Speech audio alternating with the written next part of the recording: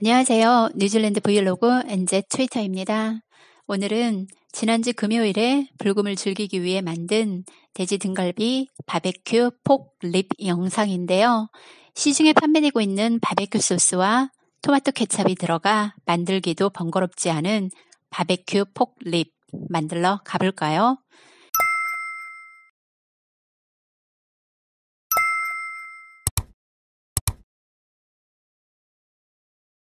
재료는 다음과 같습니다.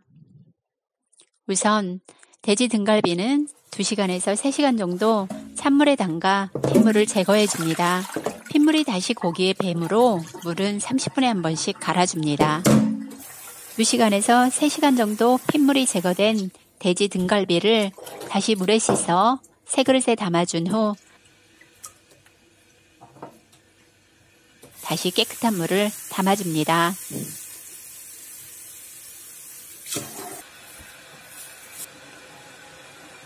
돼지 등갈비 애벌 삶기 재료로 생강을 껍질 벗긴 후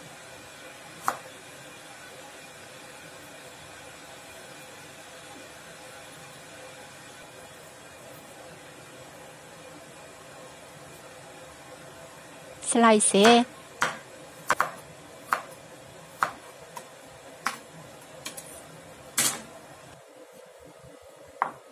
작은 그릇에 담아주고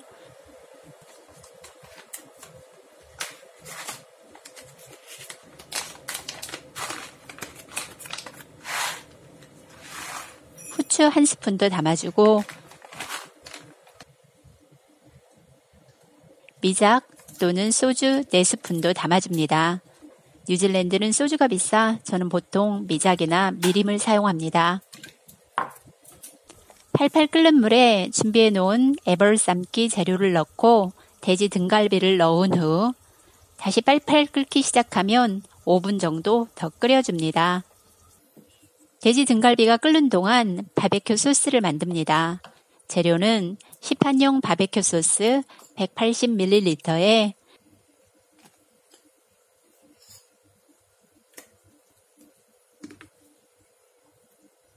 간장 4스푼,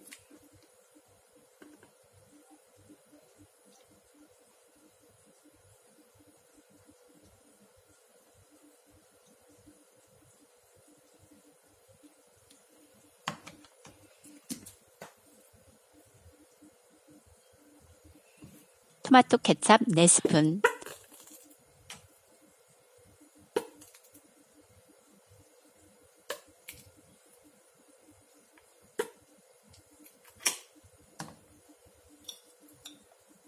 설탕 1스푼,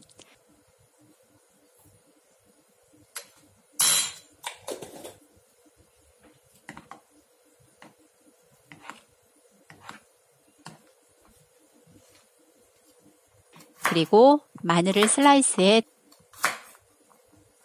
다진 후두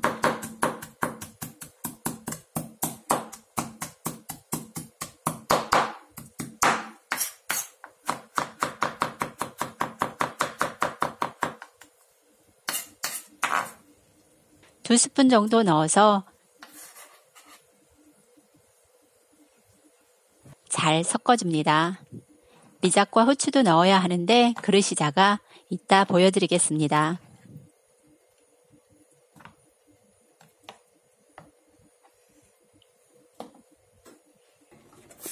잘 데쳐진 돼지갈비는 흐르는 물에 불순물을 흘려 보낸 후에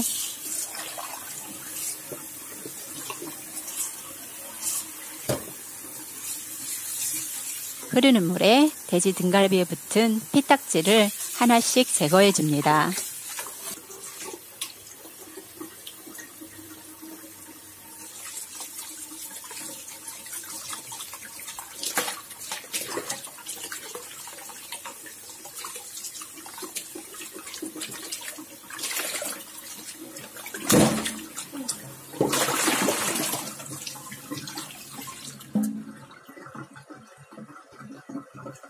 솥을 세제로 깨끗이 닦은 후에 뜨거운 물을 부어 한 번 더 씻어줍니다.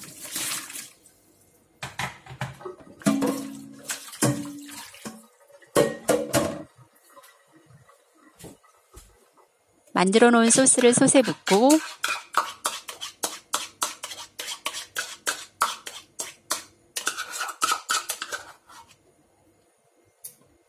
물 600ml를 넣어줍니다.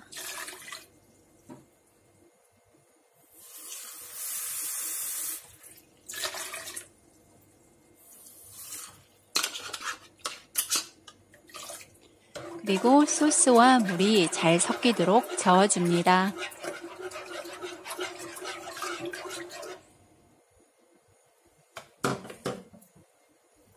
아까 못 넣은 미작이나 소주 두 스푼을 넣어줍니다.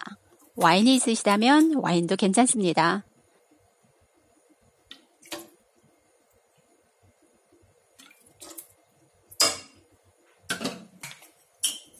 후추도 한 스푼 정도 넣어줍니다.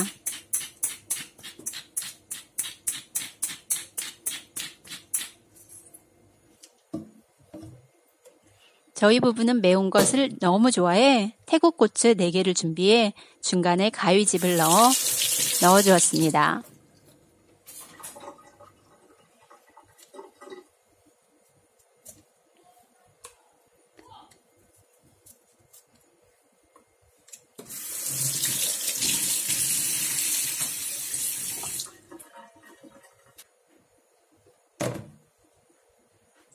깨끗하게 씻어 놓은 돼지 등갈비를 양념이 담긴 솥에 넣어준 후 그리고 양념이 잘 배이도록 골고루 섞어줍니다.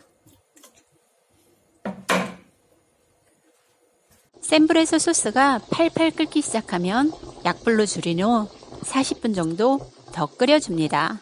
중간중간 고기를 뒤적여 양념이 고기에 잘 배이도록 해줍니다. 그릇에 익은 돼지 등갈비를 담아주고 대파를 뿌린 후 견과류를 다져서 올려줍니다. 견과류가 없으시다면 대파만 올리셔도 됩니다. 그렇게 지난 금요일은 스텔라 맥주와 pork rib으로 불금을 보냈답니다. 엔제 트위터의 오늘 영상은 여기까지입니다.